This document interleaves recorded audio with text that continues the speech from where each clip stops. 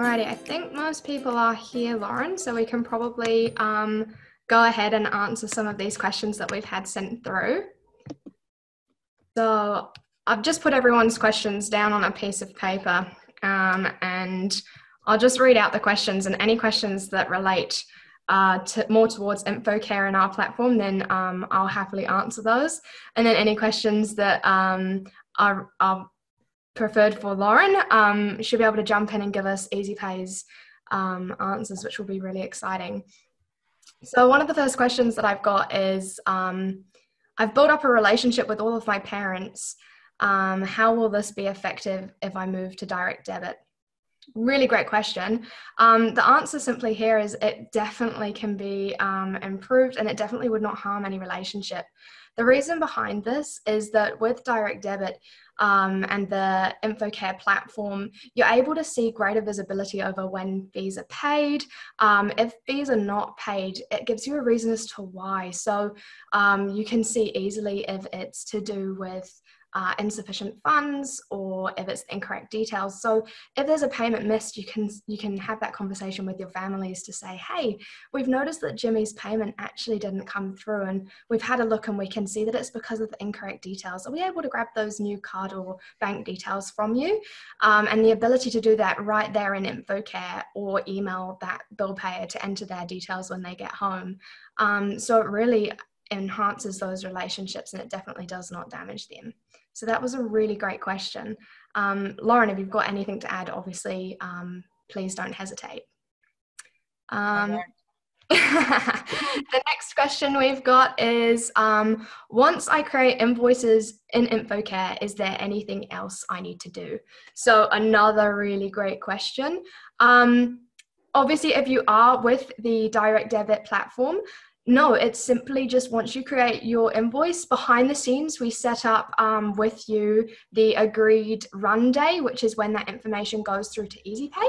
Um, so it's simply just you creating those invoices and committing them. Um, obviously, if you're not yet signed up, then you will have to send these as per usual via um, statements or sending the invoices directly. Uh, the next question we've got is how are the fees deducted? So, Lauren, I think this would be a really great question for you. Awesome. So, everything that you have done into InfoCare, loading your invoices, everything like that, what we then do on a daily basis, InfoCare talks to Ezypay and says, please direct debit all of these parents that have been set up. So, we look at that schedule and we run all of those payments. So, they might be bank payments, credit card payments, and then we process them. Processing takes three days, um, mainly due to our banks. Credit card processing is immediate, so as soon as you put it through within the day, you will know if it's passed or not, and bank can take up to three days. It's just our system here in New Zealand, so ASB can take three days to talk to ANZ and stuff like that. And then after that time, we deposit the money um, into your scheduled account on the day that you've scheduled to take your money so that there's no surprises. That's really great. Awesome. Um, next question we've got is how do we get parents to sign up? And how can I convince parents to start using direct debit? And do we have any informational material to hand out? So yeah, great question again. We um, signing parents up to direct debit through InfoCare is so easy. Um, once you have integrated with the platform, uh, it's simply going into the child's account and saying, "Yeah, I want to sign them up to Ezypay with a tick box," and you can then enter the parents' uh, details right there. And then if you have your paper enrollment form and you're wanting to do that with them. Otherwise, it's a click of a button to say email the um, bill payer. An email will go to the parent and it will have a hyperlink for them to click on, and then they can enter either their bank or um, credit card details.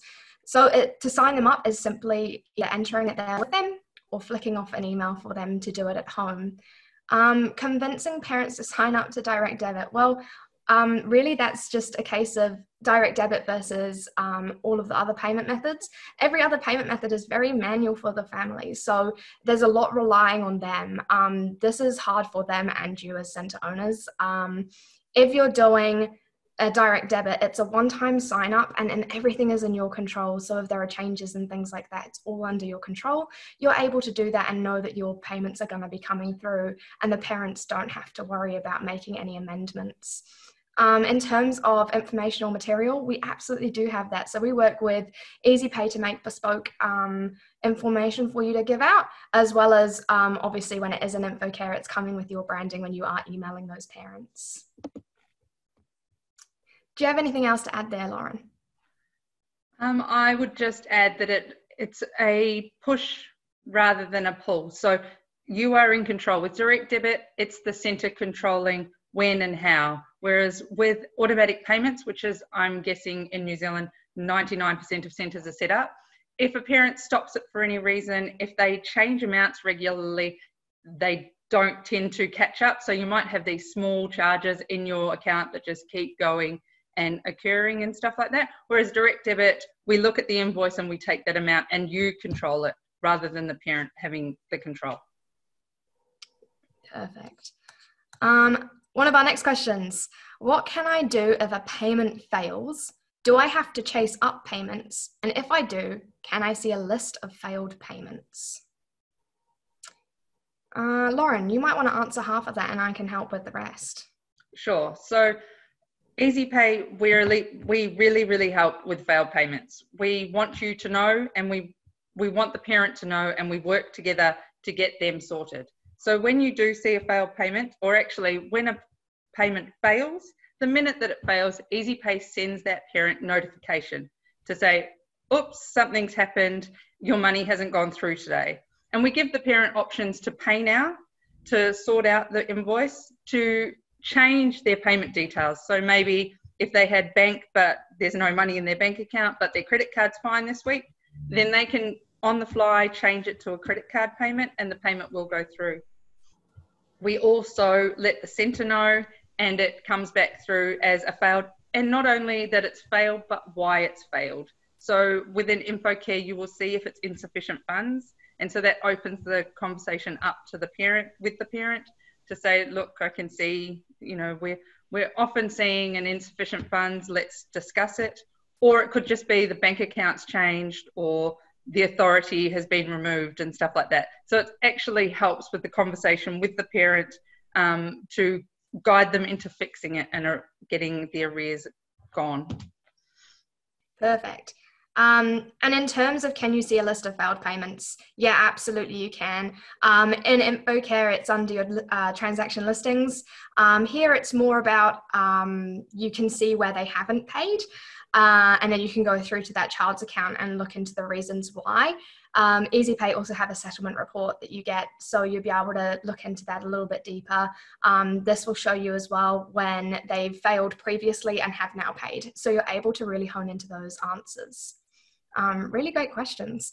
Um, is there? Ezypay, I will. Sorry, I will also add that um, reporting comes on settlement from EasyPay, and it will um, explain the failed payments. Perfect.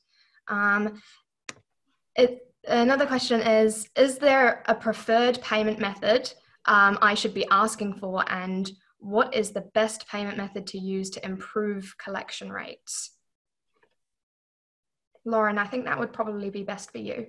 Yes, um, in the payments industry, we see lots of different types of payments. Um, to start off with the parent, I would leave it up to them. Um, the charges that change with bank and credit card, um, you may on, cho- choose to on charge the credit card payments, and the parents are aware of that. We all live in a day where our Netflix account and our telecom or Spark account comes off that. Um, and so I would leave it solely up to the parent to choose between bank and credit card. We do find we can have better success on credit card, but we also find that there's a complexity that's been added into the payments industry given debit cards. So debit cards have a lot of rules around them. It's not simply, okay, I have this much limit and the bank might let me go over. Debit cards is I have to have money in the bank account, even if it is a Visa um, that I might have set limits to my debit card. So I might have said, okay, nothing over this much, or after three transactions, don't take any more. So we've added, the industry has added this complexity into our industry, which is great. But to improve collection rates, credit card is always good, um, not debit card, credit card, and then bank is a safe, a safe bet as well. Great answer there, Lauren. Um, I'd also like to add quickly if you are using credit card as an option, if your credit card has associated points, um, it's a really great way for you to be able to gather those points if you do use that payment method, um, which can be a real perk for your parents as well.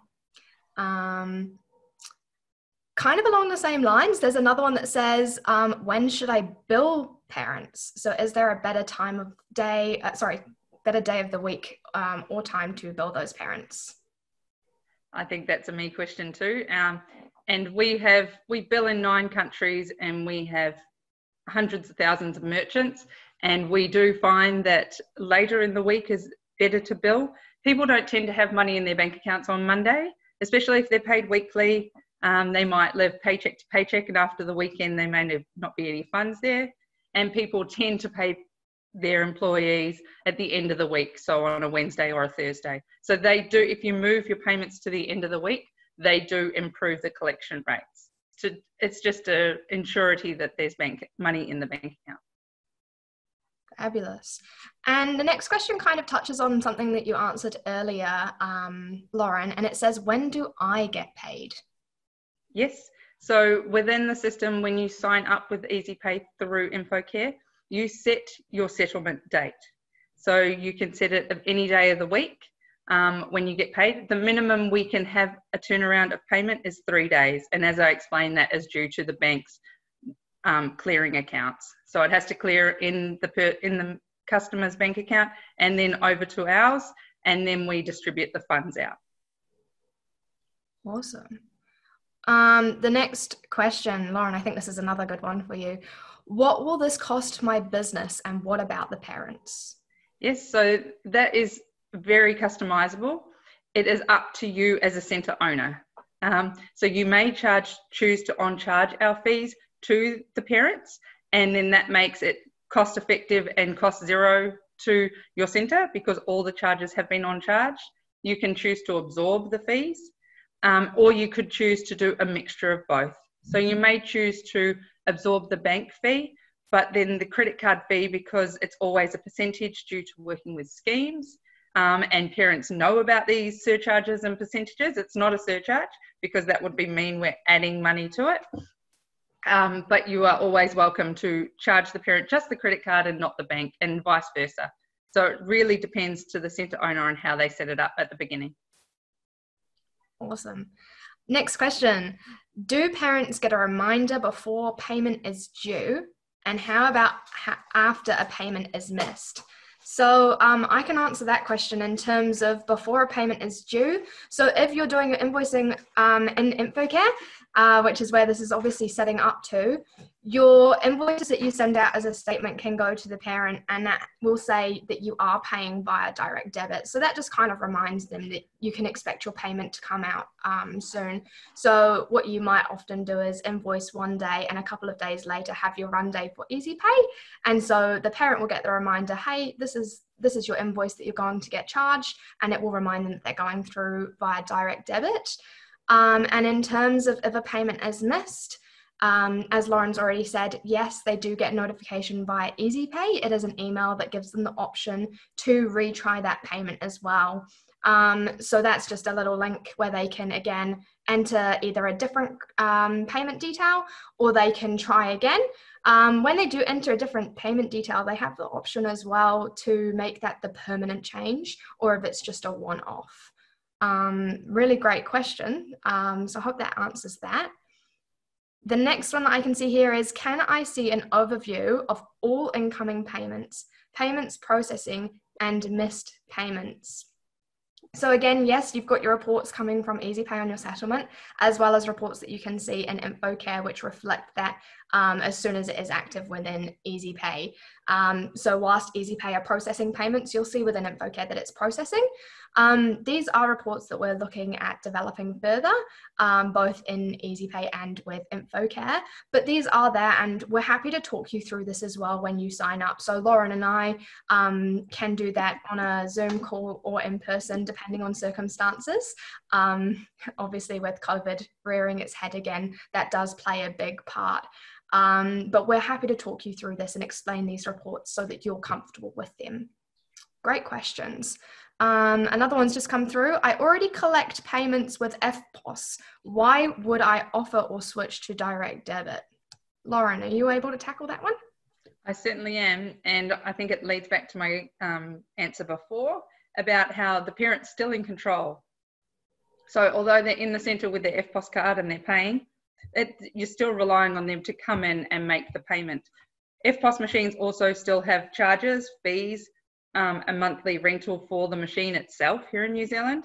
And so with with Ezypay, you could actually remove the EFTPOS machine because they've clearly got a credit card or a bank account. And so you could say, we'll sign up here and then it's automatically done and you don't need to come into the centre and use the EFTPOS machine, which in today's day and age is great for contactless transactions. Fabulous. and... we don't want anyone touching an EFTPOS machine. and the last question that we've had pre-submitted says, what can I do if a parent is having issues making a payment? So the first thing here is just making sure that they're on the correct payment, that they've got all the correct details, that they haven't accidentally, um, you know, missed off a suffix number or something like that.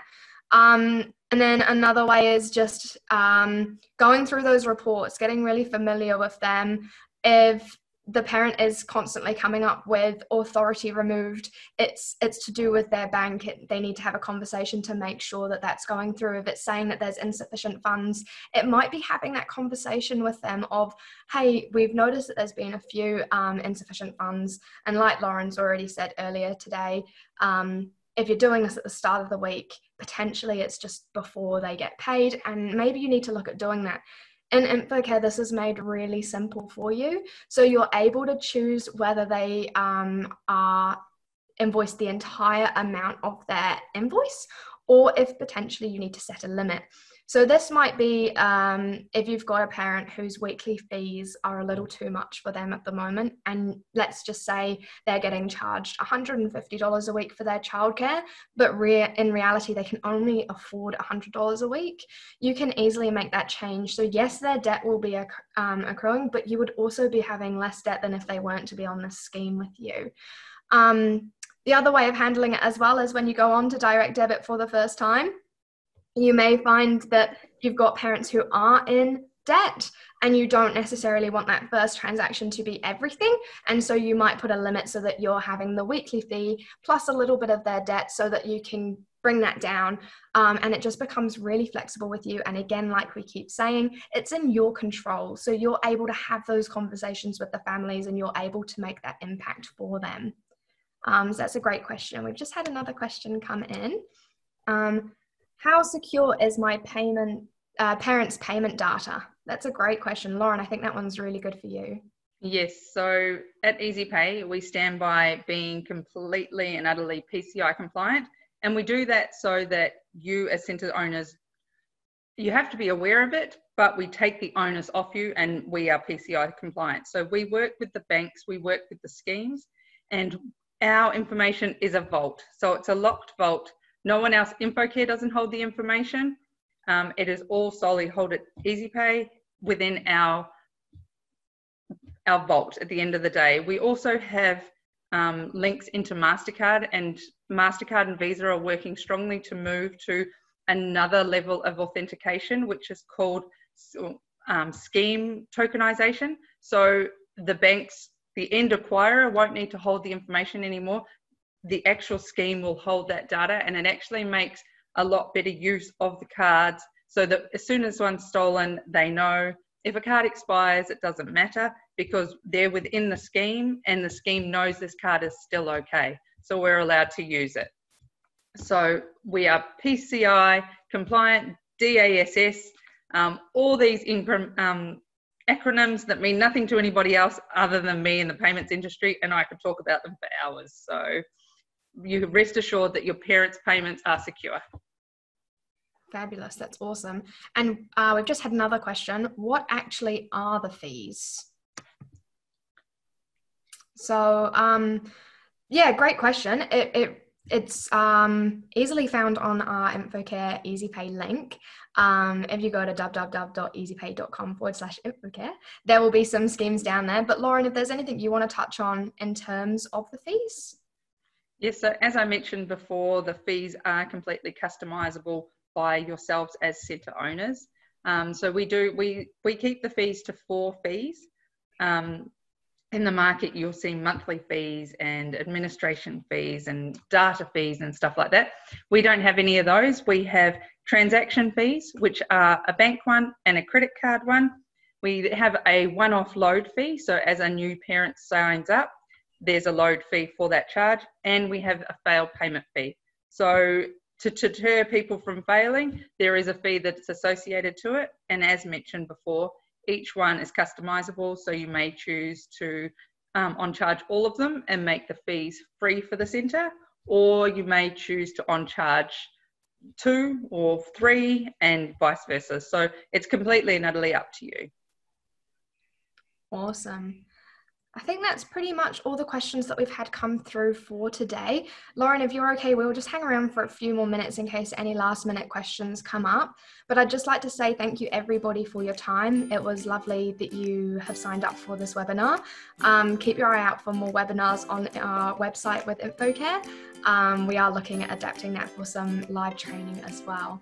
Um, so if any other additional questions after this webinar, I'm happy to answer them at any time.